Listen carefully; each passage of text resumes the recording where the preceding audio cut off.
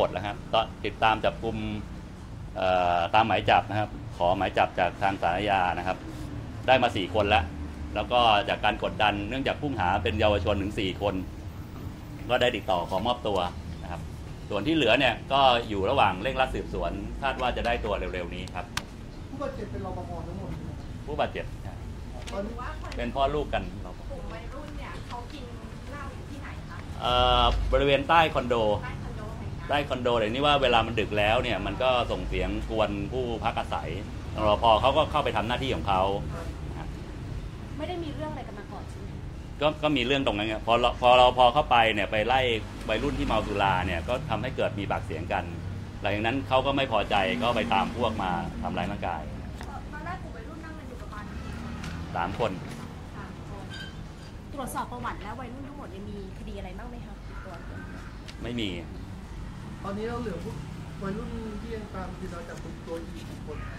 ตอนนี้ตอนนี้เราได้มาทั้งหมด 8 แล้วนะฮะแปดคือจับกลุ่มตามหมายจับ 4 แล้วก็ติดต่อขอมอบตัวเนื่องจากเป็นเยาวชนอีก 4 นะครับ ก็ที่เหลือ 8 5เหลืออีก 5 คน ทั้งหมด 13 คนก็คาดว่าเนี่ยฮะเร็วๆเนี่ยฮะเดี๋ยวเห็นหลังไวๆอยู่น่าจะได้ตอนนี้แจ้งข้อหาอะไรไปบ้างคะก็ร่วมกันทำร้ายร่างกายผู้อื่นได้รับอันตรายสาหัส แล้วก็บุกรุก ในเคหสถานในเวลากลางคืนส่วนใหญ่คนที่ก่อเหตุทำงานอะไรหรือว่าเป็นวัยรุ่นอยู่แถวนั้นคะคือผู้ก่อเหตุเนี่ยยังอายุ 18 19 17 18 19 นะยังเป็นเด็กเยาวชนอยู่ฮะแล้วก็มีทำมีศึกษาอยู่ แล้วก็มีคนก็ทำงานเป็นพนักงานร้านขายอาหารแห่งหนึ่งกรณีนี้อยากฝากเตือนอะไรวัยรุ่นเป็นบ้างไหม ก็อยากในช่วงใกล้เทศกาลสงการนะครับ ก็อยากจะฝากเรื่องการดื่มสุรานะครับ เพราะสาเหตุที่เกิดเรื่องนี้เกิดจากการที่มั่วสุมดื่มสุรากันเกินเวลานะครับ คือดื่มกันถึงตีสองเนี่ยมันมันมันมากเกินไปนะครับ แล้วก็หลังจากก่อเหตุแล้วเนี่ยพวกนี้ก็ที่เราจับได้แล้วนะครับ ทางกลุ่มวัยรุ่นเนี่ยก็มามาฟังผู้ผู้ต้องหานะฮะก็ มาสารรับสารภาพว่าวันนั้นเนี่ยที่กระทำไปเพราะมึนเมาสุราอยากเอาเอาแต่พอสมควรนะฮะอย่าจะหลองกันเกินเหตุสารเสพติดไหมคะว่ามีไหมไม่มีครับครับแล้วผู้ต้องหานี่การส่งสารไปอย่างไรหรือว่าประกันตัวไหมเดี๋ยววันนี้เราจะเอาไปฝากขังที่ศาลยา ส่วนเด็กก็จะไปส่งคัดค้านประกันตัวไหมคะอะไรครับคัดค้านการประกันตัวไหมการ จะมีมีสองส่วนคือส่วนเยาวชน เราจะไปศาลเด็ก แล้วก็มีศาลอาญาส่วนของสารอาญาที่ส่งกี่โมงก็เดี๋ยวเดี๋ยวไปเนี่ยครับ หลังจากนี้จะไปนะครับ ที่เหลือเรารู้ตัวรู้รู้รู้หมดแล้วฮะรู้หมดฮะซึ่งขอสารออกหมายจับไปแล้ว อยู่ระหว่างการสืบสวนติดตามก็เป็นเยาวชนใช่ไม่ไม่ไม่เออเป็นผู้ใหญ่ขอบคุณครับครับโอเคนะครับ ครับสวัสดีครับเบลเหรอฮะคอนโดเบลเหรอไม่ บอกก็ในนั้นมันเขียนชัดเจนเลยอะบอกไม่ได้อ่านเลยค่ะก็วันนี้นะคะที่สอนอห้วยขวางนะคะแถลงข่าวจับกลุ่มกลุ่มวัยรุ่นนะคะ ซึ่งเหตุการณ์เนี่ยมันเกิดวันที่ 2 เมษายนนะคะ ก็เอ่อมีกลุ่มวัยรุ่นกลุ่มเนี้ยค่ะประมาณ สักประมาณหนึ่งไม่แน่ใจว่ากี่คนแต่ว่าเขาเหมือนจับกลุ่มดื่มสุรากัน แล้วก็บริเวณคอนโดย่านรัชดาค่ะ แล้วก็เหมือนมันดึกดื่นแล้วประมาณช่วงเวลาเกือบตีสองเนี่ยทางรปภก็เลยได้เข้าไปห้ามปรามเพราะว่ามันจะเสียงดังรบกวนผู้อื่นนะคะ แล้วก็ทำให้กลุ่มวัยรุ่นเนี่ยไม่พอใจ ก็เลยหลังจากนั้นเนี่ยก็มีการไปเรียกพวกมาเพิ่ม โดยรวมทั้งหมดเนี่ยประมาณ 13 คน แล้วก็มารุมทำร้ายรปภนะคะ แล้วก็ใช้มีดเนี่ยแทงจนรปภเนี่ยได้รับบาดเจ็บสาหัส ซึ่งอายุเนี่ยส่วนมากประมาณ 18-19 ประมาณนี้ค่ะยังมียังมีที่ไม่ถึง 18 ก็มี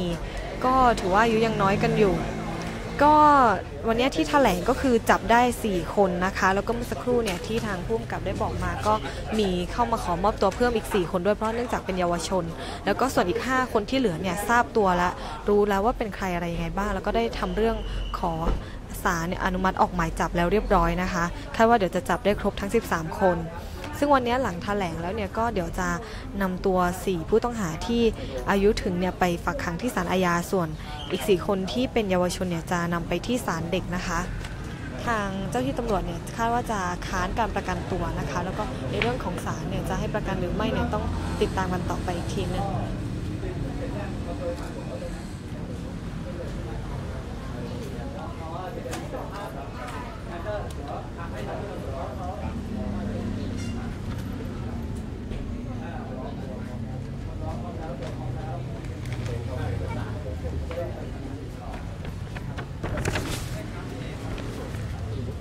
รื่องนี้ไม่แน่ใจว่า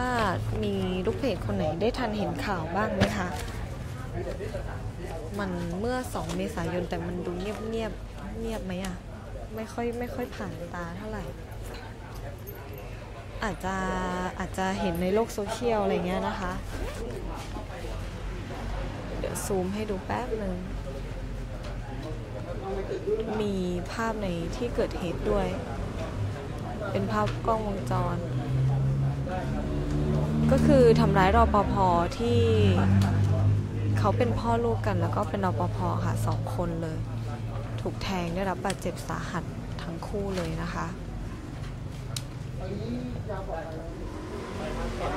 ตรงนี้เนี่ยทางผู้กำกับสอนอห้วยขวางก็ได้ฝากไปยังกลุ่มวัยรุ่นด้วยนะคะ รวมไปถึงเด็กๆ เยาวชนเนี่ยว่าก็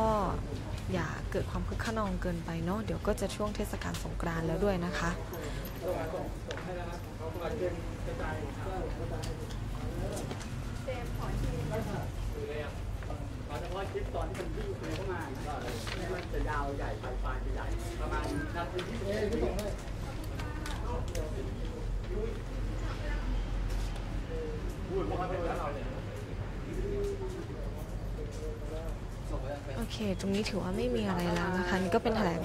คร่าว ๆ เดี๋ยวเรื่องราวยังไงเนี่ยเดี๋ยวขอตำรวจขอขอคลิปวงจรปิดในช่วงเกิดเหตุอยู่ แล้วก็ถ้าลูกเพจอยากอยากติดตามเนี่ยเดี๋ยวยังไงติดตามกันได้ในเพจอีจันนะคะ เดี๋ยวน่าจะไปทำคลิปคลิปรวมอีกรอบหนึ่งเนาะคลิปสรุปเหตุการณ์อะไรนะคะ ขอบคุณวันนี้ขอบคุณลูกเพจที่ติดตามด้วยนะคะ